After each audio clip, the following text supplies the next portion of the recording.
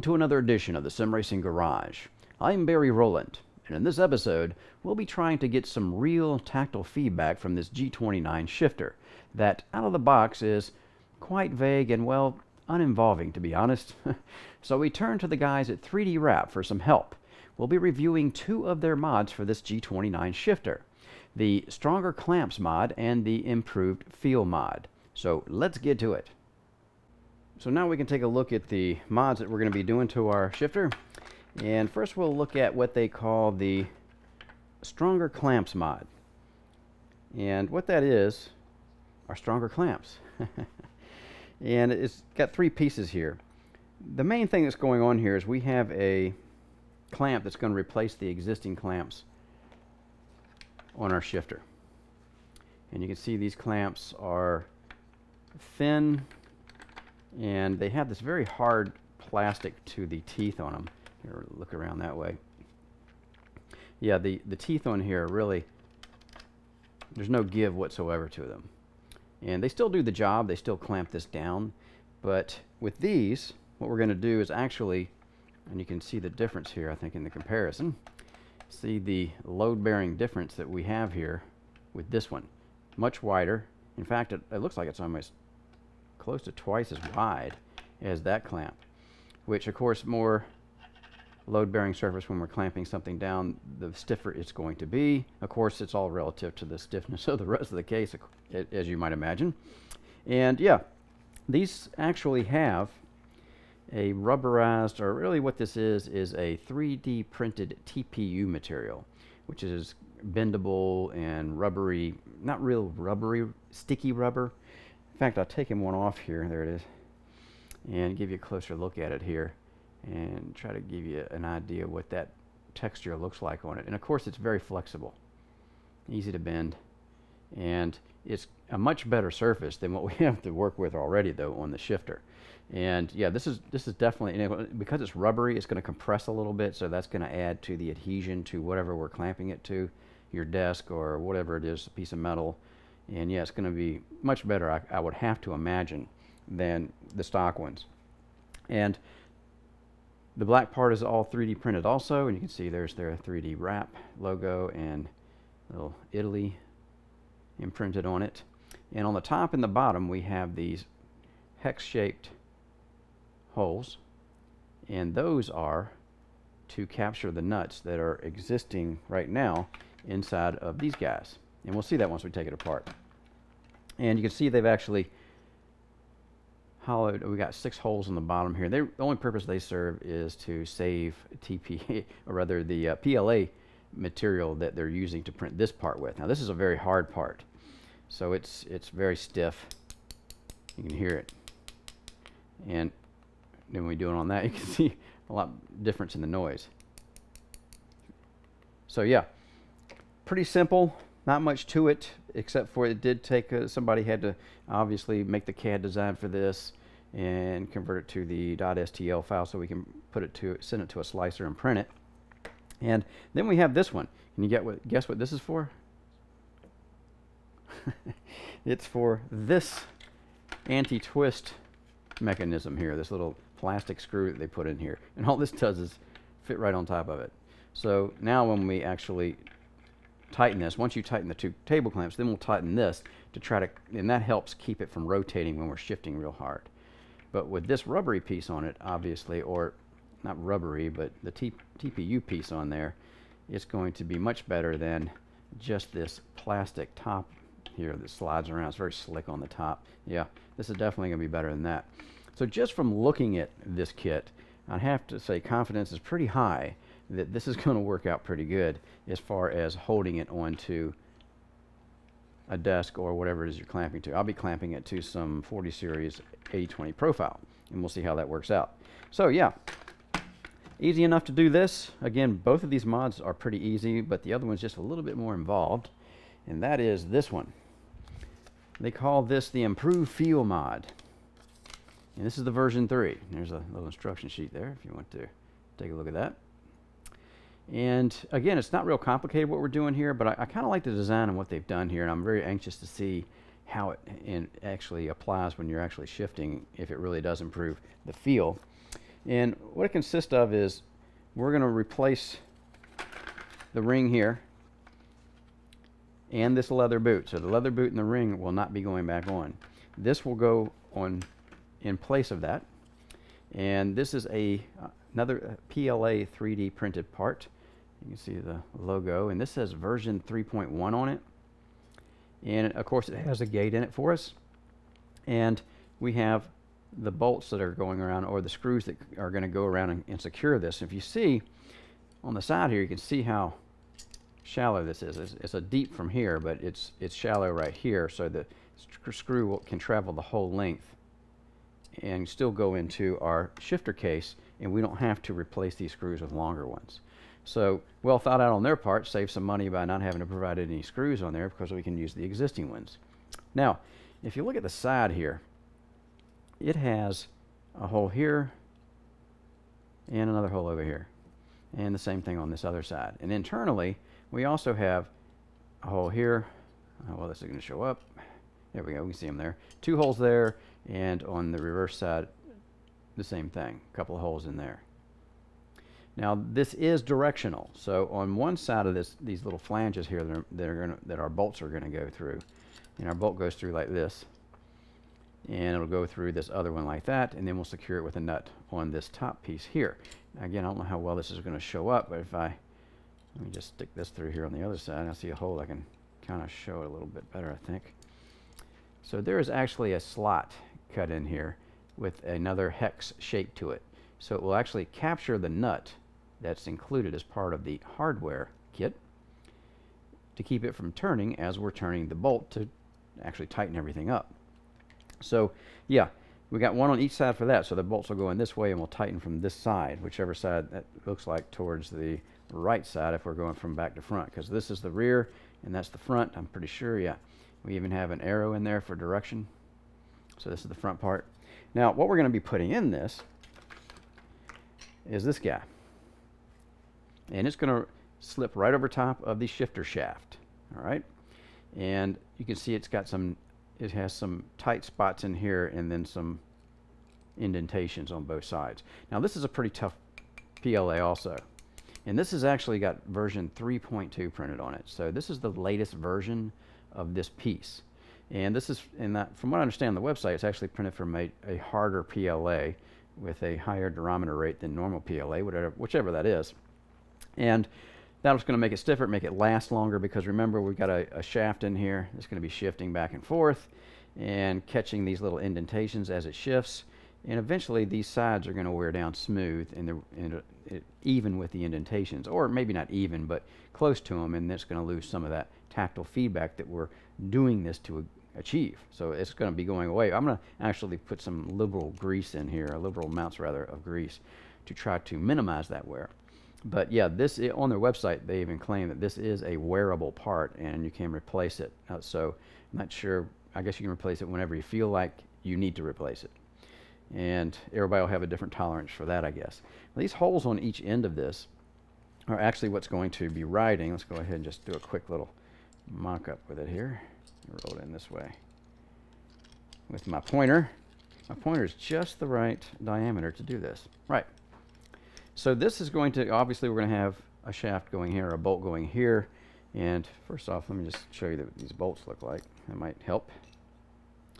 And they're little machine bolts not little, they're actually kind of long, but they're small. They're about, I think, a four maybe, maybe even a three.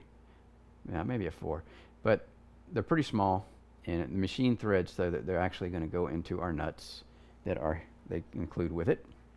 See a little nut there? And that's the nut that's going to be captured in the little hexagon slot that I mentioned before. This bolt is going to slide through these pieces of plastic that they give you. And this is pretty stiff plastic. So that's going to actually let this mechanism ride on the red part. So when it's sliding back and forth, it'll be right on that. But I'm just simulating it with my pointer here. Right. That explains it, right? So now this thing will be sliding back and forth as we're shifting, going from the first gear all the way over to the sixth gear.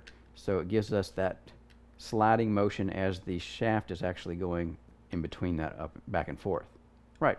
Again, I kind of like the way they've done this. And from I'm visualizing what it's going to feel like already, and I, you know, obviously I don't know, but I think this could actually work. and it, it's, it's got to be better than what we have from the stock shifter because there's not much there, that, no doubt about that. Right. So again, not too complicated as far as putting this together. And we do have one more piece. Because the boot is going away, the leather boot in that ringer is going away, and we're just going to have this showing, they actually include a actually it feels it's a kind of a fibery decal that's going to go on top of there. Let's see if you can see the actually see that grain but yeah there's actually see how that is? So you can actually feel the grain. Very cool decal actually. I like this this vinyl whatever it is they're using here. Pretty nice. In fact it says something on the back there but I'm not sure uh, who makes this. Right. So yeah, there you have it. Uh, not a whole lot going on here as far as replacing it. The busiest one's going to be this guy, believe it or not, not so much this one, because we have to take this nut off and then we have to unscrew this this all the way out. If you saw my review, initial review of the G29 shifter, then you'll you'll know what I'm talking about. We've got a nut on the top of this arm and on the bottom here. All that's got to come out, and we'll just leave these sitting here though. They can just stay where they're at, and then we'll just slide the other ones. I'm putting the nuts in each side of these. So one nut will go in there and the other one will go on the other side and then capture it all. And I believe I'm going to put this in this way so the you can see that there's an offset there. See that? And I want the offset to go inwards, I think. I think that's the, the more compact way to do it.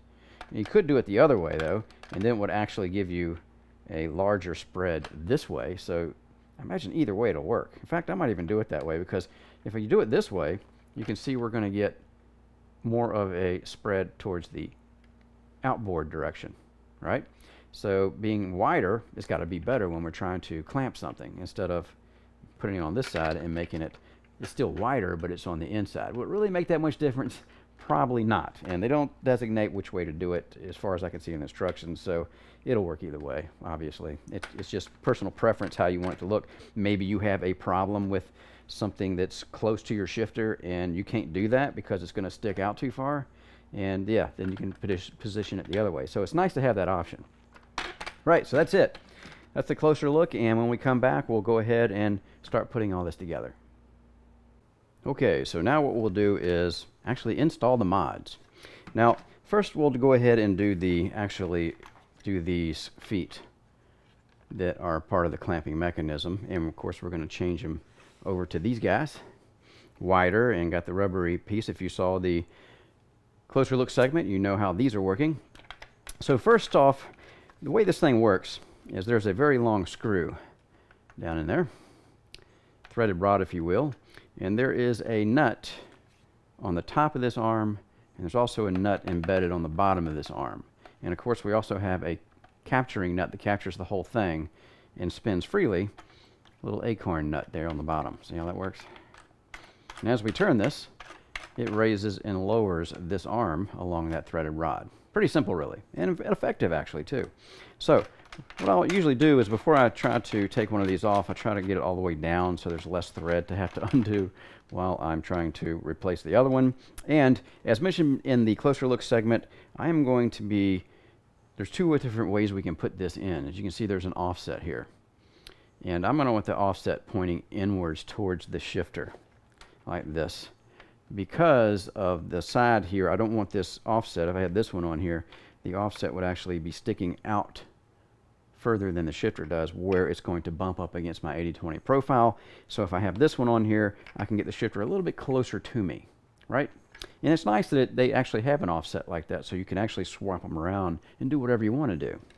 So let's go ahead and go ahead get this going here. And this is a 10 mil acorn nut here. The first thing I'm doing, I'm going to turn the knob here to help me out. First thing I want to do is break that loose. And that's easy about just spinning counterclockwise on both pieces. And now the acorn nut is loose. I'm just simply going to unscrew it. And you can see it's got that smooth top on it and the thread's exposed inside. Typical acorn nut. Right, so now, remember there's a nut on the bottom of this. And I think you can see that through here. See that nut on there? It's embedded in the arm. And there's another one on top over here. So the one on top I'm going to leave on a threaded rod. And I'm just going to bring this up far enough. I'm going to have to get this, I'm going to turn it counterclockwise and get the threads to come all the way into the this arm here, bringing the threads in to where it disengages that bottom nut, and then I should be able to get it out. So let's give that a whirl here and see what happens. I'm just going to kind of steady it with this hand while I'm doing the screwing part. Let's see if I can get you guys to watch that. There we go. So it should come loose, and I should be able to pull this knob once it disengages that bottom nut. And there it goes. So now I can move it in and out. And that other nut is still staying on there, as you can see. I think you can see that. There it is. Right, and we have one stuck in the bottom here. So we have to get that out. No big deal. I'll just take the other end of my pointer here and just press on either side of the nut as I kind of work it out. Well, I didn't have to do that. It came out a lot easier. Cool. So now that that's out, and I'm using, I remember I wanted the offset to go inside, so I'm going to use this one. So that offset is, is going to be that way. And I'm going to use this one. And all I'm going to do is go ahead and put the nut on the bottom. You can see it has a place for it there. See that hexagon type opening there. And It should just press right in. There we go. All right. Now, what we're going to do is raise this far enough to get this whole thing in here like we, we did going bringing the other one out rather. And then go ahead and now we're going to have to seat this nut in the top of this arm. So I'm just going to push it in there and there it goes. It did a pretty good job there. It actually captured it pretty well. Although it's not all the way in there so you get a look at that. It will go all the way in once we tighten everything up. So now I'm just going to engage and you want to make sure this nut by the way on the bottom is nice and seated flat so you don't cross thread anything when you're going back in to the arm and the nut so I'm just going to put that back make sure it's in the channel there. And I'm just going to kind of keep threading this down until it engages that nut. And I feel it when it does that. And if you get any resistance, you need to stop and then check again and make sure it hasn't tilted on you or something because you strip these threads out and it's just going to be a pain to have to find another net and or nut rather and maybe even fix the threads with a die on your, your shaft here or the threaded shaft. So looks like we did pretty good there. It's coming out the bottom. You see there? And I need some exposed, obviously, to get my acorn nut back on. And I'll just go ahead and put that back on, holding this on the other side. And there we go. And now I'll take my 10 mil nut, or rather, I will take my 10 mil wrench to the 10 mil nut and just snug it up a little. You don't really have to tighten it up a lot because it's a free rotating thing anyway. It just It's not like trying to bind up something. So you just rotates pretty freely. Now, all you got to do is rotate it counterclockwise, and you can see our arm is raising as it should. So, successful. That's pretty easy. Really, it's it's uh, just to keep from, you know, the only thing you really got to watch out for, I think, is the cross-threading thing to make sure that nut is sitting like it should. And what I'll do now is just speed it up to put the other one on because, well, you already know how it goes on.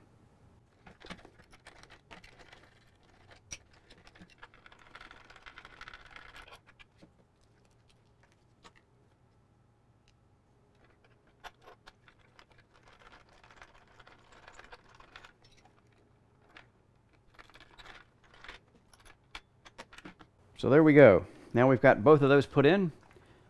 Pretty simple, really. And now all we have to do is install the last piece of this part, which is the Stronger Clamps mod.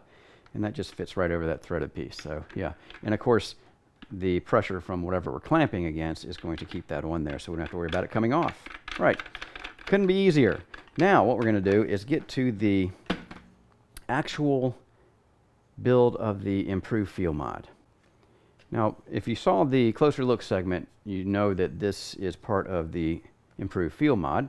And we have another piece, this little, I don't know what I'm going to call this, a cam follower or something, but really it's, it's a retainer for the shaft of the shifter. And again, you can see the little indentations in there that are going to give us that click feeling once we're going from the bottom gears to the top gears to neutral and back and forth. And it's very, it's thin, not very thin, but it's thin enough here that gives the friction as we're pushing it. And we're going to want to lube that up, these flat spots here, these flat pieces. And you don't really have to lube these holes up, just the flat spots. And a couple other things we're going to have to lube up too, which is, go ahead and get this over here.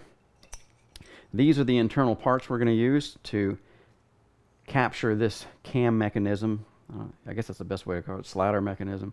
And we want to capture that in between these bolts. And if you watch the closer look segment, you know what I was talking about, or I am talking about rather. Now, there are there is a way to do this, and there's only one way to do it. You have to go in one way with the bolt, and because there's actually slots cut on the sides here, or on the other side where it captures the bolt and you screw into, that actually captures a, let's see if I get my pointer in there, actually captures the nut that we're going to be screwing that bolt into, right? Now I've already got one in there on the other side, and it's not easy to see it. Maybe it's come out again on me. Maybe that's why I can't see it, yeah. Okay, so the idea here is we want to get this nut down into that little hole that captures this nut, and it's shaped in the same shape that this nut is, so we don't have to put a wrench on it when we're tightening things down. But it can be a little tricky to get this done. You have to kind of, and it's hard, really difficult for me to show you how I'm doing this. I'm just kind of positioning it up to where it needs to go and then kind of pushing down and end on it, in on it, trying to get it seat to seat into that cavity and be lined up with the hole. You can see it's kind of sitting there right here. I get a light on you so you can see that. But it's still a little crooked and we don't want it crooked, we want it flat. So what I'm going to do is take the end of this, which is a nice steel, hard steel part, and see if I can get this to sit down in that cavity like I want it to. That looks pretty good actually. All right, so again, not going to be easy for you to see it in there, but there, eh, maybe you can. There it is. So I've actually pressed it down into that cavity. And I'm going to do one at a time so we don't get anything messed up.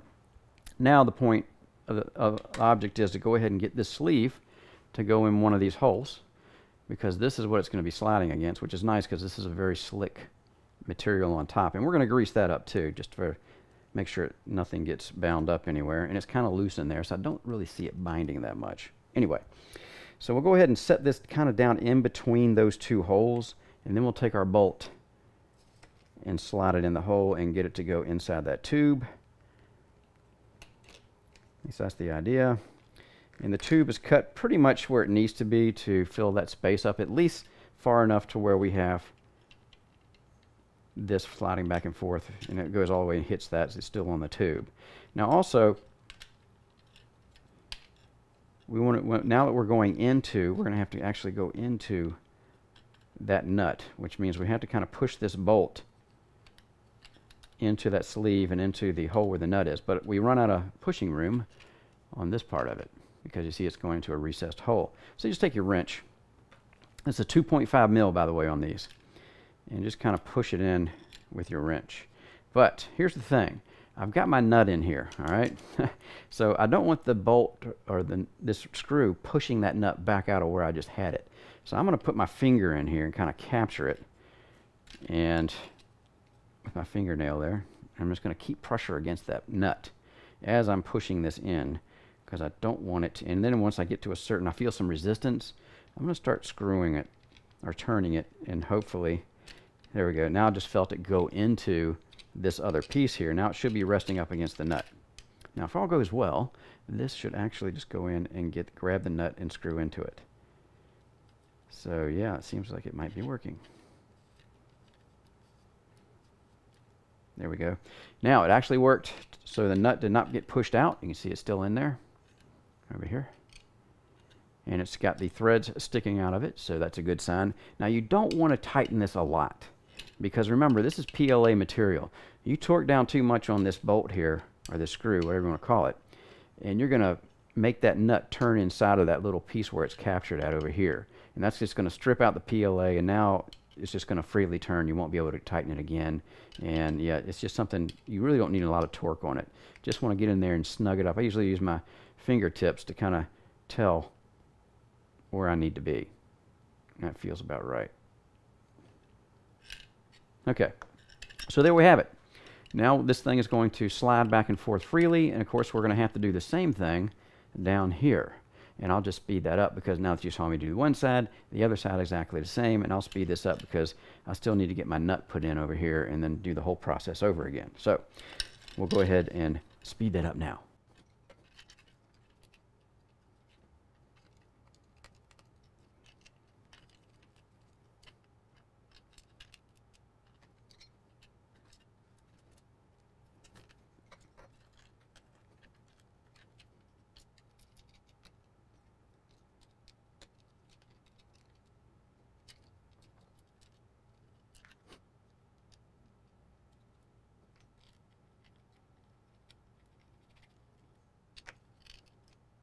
Okay, and you can see even speed it up, that was a little bit fiddly on the nut side over there, which is, you know, just got to be patient and it'll, it'll, it'll eventually go in for you.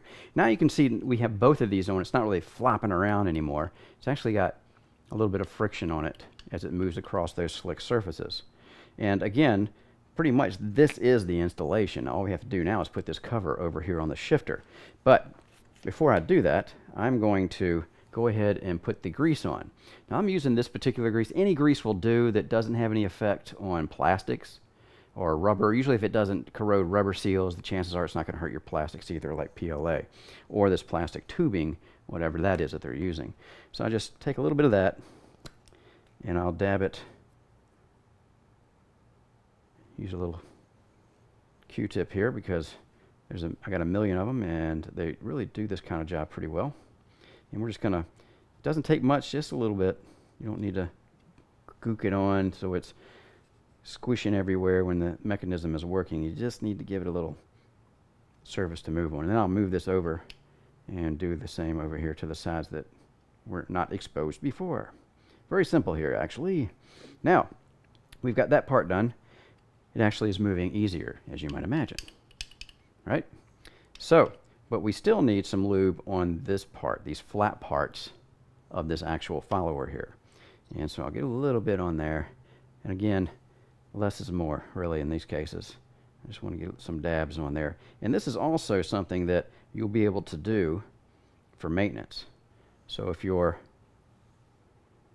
as you're using this, you'll probably want to do this to keep it nice and lubricated while you're using it. This will, will actually increase the life cycle of this follower here, even though oh, you can go on their site and buy extra ones because this is, as we said before in the closer look, a wear item. Eventually, it's going to get loose on you as far as shifting back and forth because, yeah, even with grease, there's going to be some wear and tear there. Right, so now we've greased everything up. We can put that away and try to keep from getting grease all over everything and keep our paper towels handy. Right. So now all we've got to do is take this off. And I believe, yeah, we're going to have to pop this little cover off. See how this pops off? Very easy. It's got those little arms on it that snap in and out of the top of that knob. And we're going to need something that I don't have here, but I have over here pretty handy. We're going to need a Phillips screwdriver because there's actually a small Phillips screw inside of that shifter. See if the light will catch it for you there. Right, easy enough. Just get down there and unscrew it. And it's a very small one. It doesn't really go very deep, I don't think. No, there it is. Go ahead and get it out. And there's our knob. Again, our nice leather-coated knob. Feels good when you're shifting it with a bare hand. This is the Phillips screw. It is a machine thread because it is a machine thread inside this metal shaft. And it's got some Loctite on it. Cool. Right. So now what we want to do is, of course, pull the boot off. And that's going to be quick with this. And again, these are 2.5 millimeter hexes on here. And I'm just going to use my 2.5 millimeter wrench, obviously. So we'll go ahead and speed that up.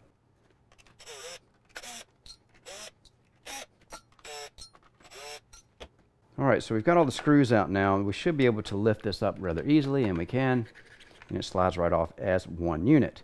Now, there is a little locator tab in this if you want to go back to stock sometime. And there you can see it there. That goes into the back just so you have it oriented properly when you put this back on because there is a radius to this top. See that? Kind of flows with this shifter. Right, so now that we have that off, we're not going to be putting it back on. And if you look at my original review of this shifter, I took it apart and you can you understand what I'm talking about, that there's a rod in here See if you can see it. See that rod that attaches, goes through this shaft? And the end of that rod's been flanged out. And those flanges actually fit down into those grooves there. See those? Into the side plates, those metal side plates. So there's really no gate in here, if you will. It's, it's all a simulated gate. And when you're in neutral, if we can get it back in neutral, you push it over and bring it back, that flange piece captures that side sheet metal over there. And that's what creates the shift and it will still be doing that, all right? This gate really is not going to be changing that, the gate you see on top of here. So all we really have to do is take this and keep it oriented properly, and there is an arrow in here that we have covered up now, but anyway, there's an arrow under this bar here that points forward, so you want it to kind of go this way. You want the fat part, you see the difference here? You want the, the thicker part to go towards the back. And we'll just go ahead and slide it down onto the shaft. And remember, these holes here are recessed on this piece. And I think it should sit down inside of this. Oops. I think it's supposed to sit down. See what I'm talking about here? This, this internal groove here. I think this is supposed to sit down on top of that. So it goes in, the front, but the back it doesn't seem like.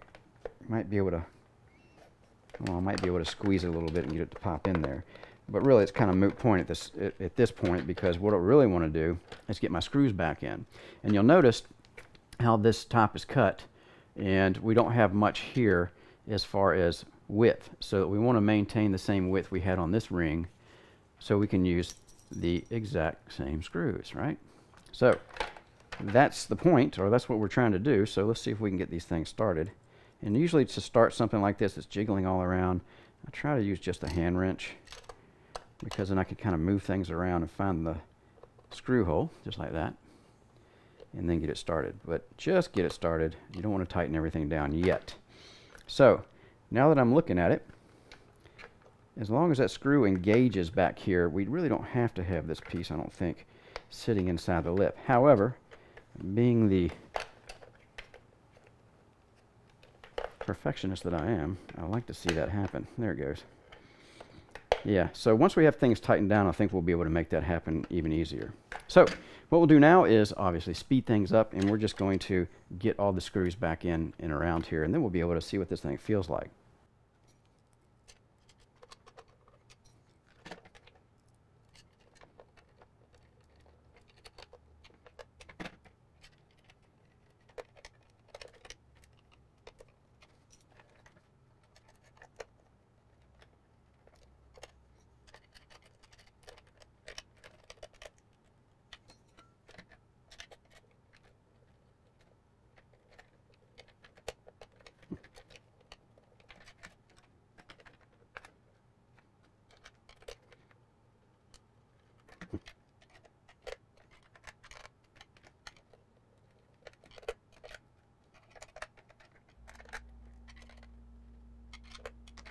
All right, so you can see there there was a little bit of a struggle there to get this to go on because I you have to move it around a little bit and I had the, some of the screws a little bit too tight prematurely so that prevented me from moving it where I needed to so just had to loosen a couple of them back up and then we could go back in and get it lined up properly. I had to kind of skew it sideways to get it lined up properly. Again, typical of the kind of aftermarket mods and things we get, I think. Uh, yeah, so anyway, it's on there. So all we got to do now is put our shifter back on. And this sh shifter handle actually is key to that shaft. See how there's a flat spot there? There's a corresponding flat spot there. And that is along the threads here. So the threads are going to go right on like that. And of course, all we have to do is take our screw, our little Phillips screw here, and get that back in. And then we should be ready to test this thing out. Kind of turn it sideways there so it goes in a little easier. So we'll go ahead and snug that down. And our cap, got there's a pattern on here. We match it when we put it back on. So we have our pattern correct. And there it is. Right, so, oops, I lost my uh, top part here. but that's just sitting on top, so that's, that's not a surprise. All right, so initially, trying to put some pressure on this while I do this.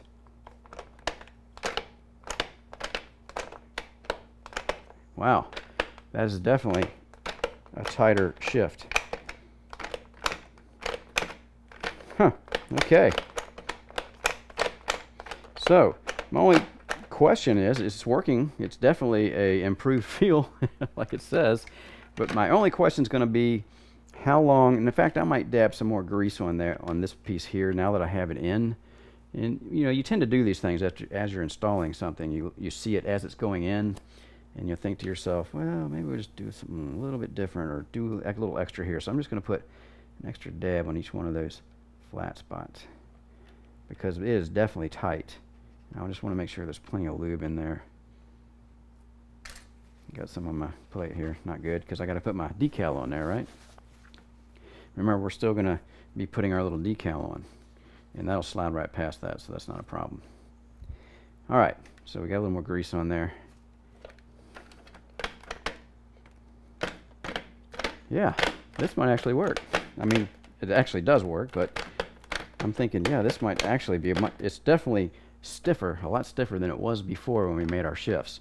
And we've actually got some gates we're going in now, which really, I don't think really matters, but it might, it might help as far as locating because once you're in those side plates that I showed you before, once you're over and in that side plate with that flanged rod and you're going back and forth, it is nice to go into an extra piece of gate though.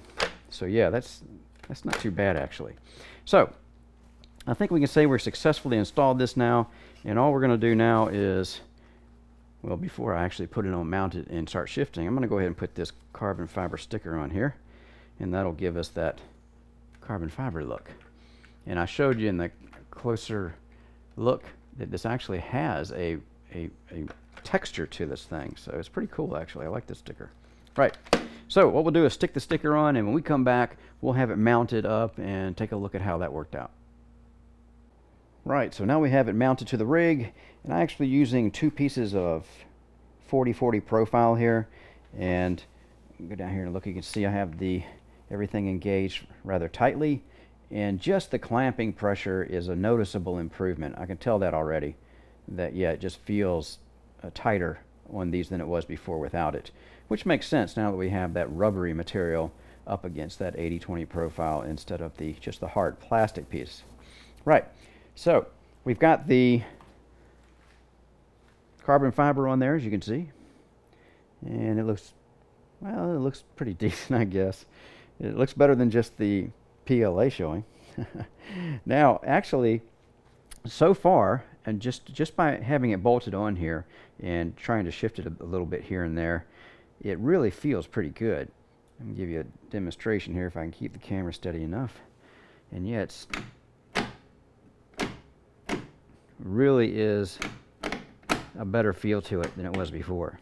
And the whole shifter is not moving as much as it was, which obviously is going to improve the tactile feedback. Just how much, we won't know until we're in and driving, which is what we'll be doing next.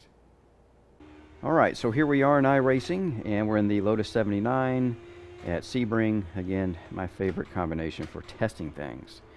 First off, with the shifter is you can see when I'm shifting here if you notice there the housing is not moving anymore it's it's just very stiffly mounted now because of the wider grip that we're getting with the the two arms that are on the bottom of the the claws I'm just calling them claws that grab the bottom and of course the little rubber the rubbery inserts that TPU material is doing its job and yeah it's really just that when I, when I first mounted it on there and had it nice and tight like this. I've never had it this tight because of the other pieces of plastic, the claws there, well, they're, they're twice as thin, number one. They don't have the rubber on them, which I suppose you could like put a piece of rubber underneath them and improve that just with those.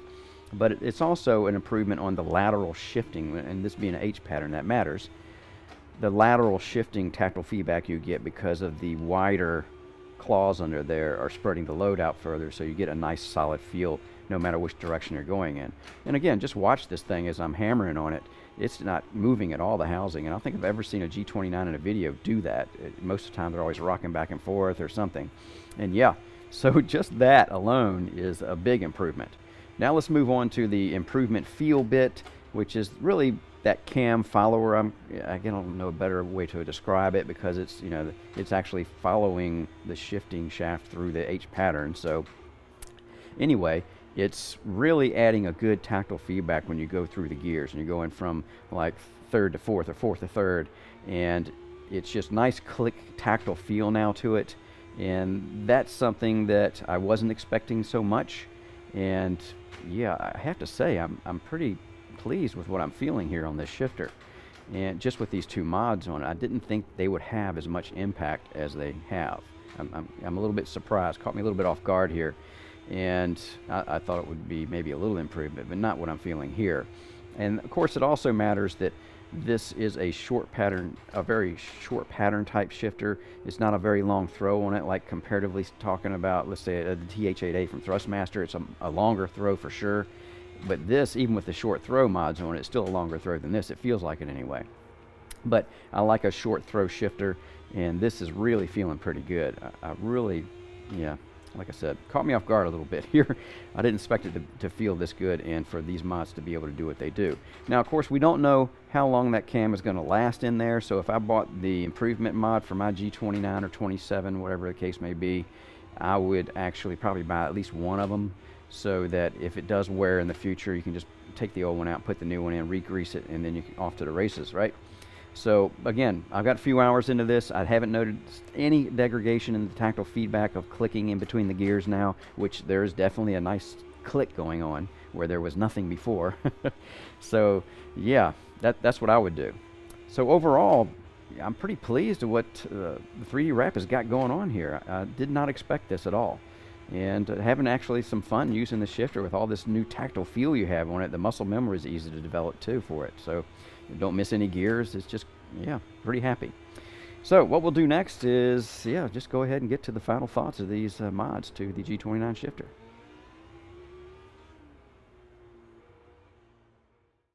Final thoughts on these two 3DRap mods for the G29 shifter. You know, as sim drivers and, well, just as guys in general, we can't help but be on the lookout for a mod that will change, for the better we hope, the way a controller feels or works even if we're happy with it, how it performs currently. We just can't seem to help it, it seems. Or at least I can't help it. so when I first got a 3DRap mod from my Thrustmaster TH8A shifter, while I was on their site, I had a look around at other mods they made. As it turns out, there are a lot of them.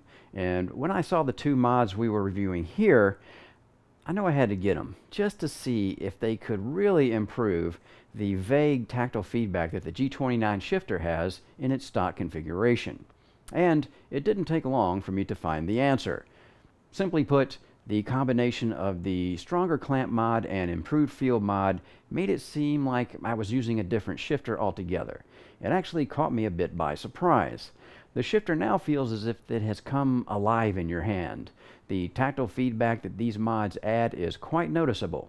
Now, I have this unit feeling like a proper H-pattern shifter for once. a much more involving or immersive experience when driving. The only question mark here is the durability of the 3D printed PLA cam part.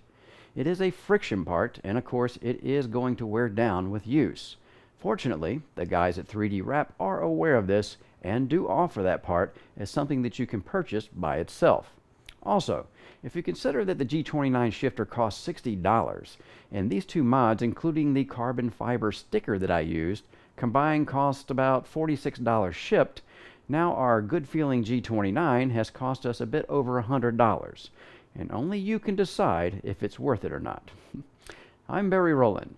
Thanks again for watching the Sim Racing Garage, and don't forget to hit the subscribe button and Help support what we do here at the SRG by visiting our website at simracinggarage.com.